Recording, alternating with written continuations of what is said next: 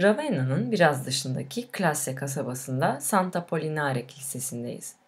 Burası 1. yüzyılda Roma İmparatorluğu'nun limanı olan bir bölge. Bir zamanlar bu iki kasaba arasında büyük bir göl varmış ancak artık yok. Burası aslında antik Roma döneminde mezarlıkmış. Ravenna'nın ilk piskoposu olan Aziz Apollinaris'in de buraya gömülmüş olduğu düşünülüyor. Aziz Apollinaris'i burada apsisin ortasında görüyoruz. Ancak bu konuda konuşmaya başlamadan önce kilise hakkında bilgi verelim. Bir bazilikadayız. Ravenna kasabasındaki pek çok kilise gibi burası da pek çok değişimden geçmiş. Aynı Nuovo kasabasındaki Santa Polinare Kilisesi'nde olduğu gibi burada da nefin tamamında mozaikler olmalıydı. Ancak bu mozaikler günümüze ulaşmamış. Günümüze ulaşabilen ise alışılmadık derecede büyük olan apsiste gördüğümüz mozaik. Bu mozaik zafer takı olarak biliniyor. Tepede tam ortada Tanrı'nın sakallı bir tasvirini görüyoruz. Elinde bir kitap tutuyor. Her iki yanında dört evangelistin sembollerini görüyoruz. John yani Hazreti Yahya bir kartal. Matthew erkek. Mark aslan olan ve Luke öküz sembolüyle gösterilmiş. Bu figürler mavi ve kırmızı bulutlarla dolu bir gökyüzünde duruyorlar.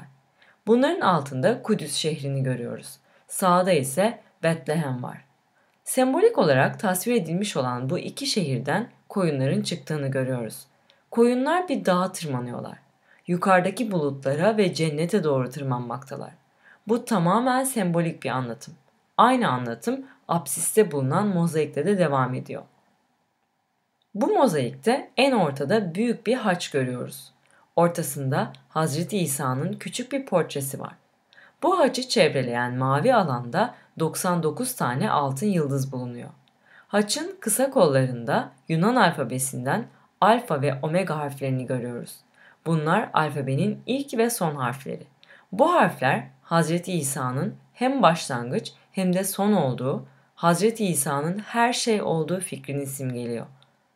Burada şekil değiştirme olarak bilinen öykünün yani Hz. İsa'nın kendisinin ilahi bir kişilik olduğunu havarilerinden Peter, James ve John'a açıklamasının sembolik bir dille tasvir edildiğini görüyoruz.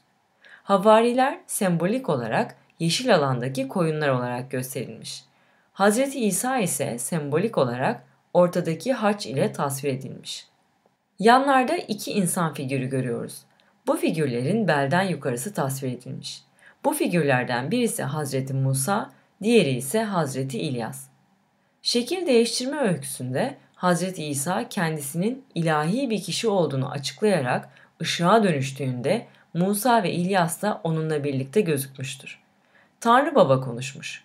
Bu sevdiğim ve çok memnun olduğum oğlumdur. Onu dinleyin demiştir. Bu mozaikte yeni ahitte yer alan öyküdeki bu anı görmekteyiz. İlahi kişilik olduğunu açıklıyor. İsa insan formunda gözüküyor. 6. yüzyılda bu kilisede dua eden bir kişiyi düşünelim. Bu öyküyü resim olarak görmek bu kişi için oldukça alışılmadık bir deneyim olmalı. Hz. Musa ve Hz. İlyas figürleri ilahiliği çağrıştıran altın bir gökyüzündeler. Bu figürlerin altında soyut ve dekoratif olarak şekillendirilmiş olan dünyaya daha benzer bir ortamda Aziz Apolinare var. Koyunlar özellikle en altta olanlar çok güzel. 12 tane koyun var. Bunlar havarileri simgeliyor olmalılar.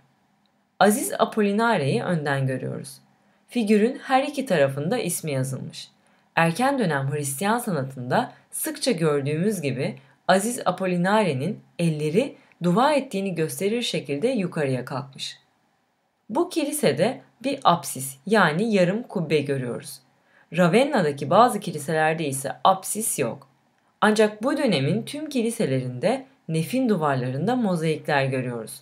Bu kiliselerdeki mozaikleri ilk yapıldıkları zamanlarda yani 5. veya 6. yüzyılda görebilseydik harika gözükürlerdi sanırım.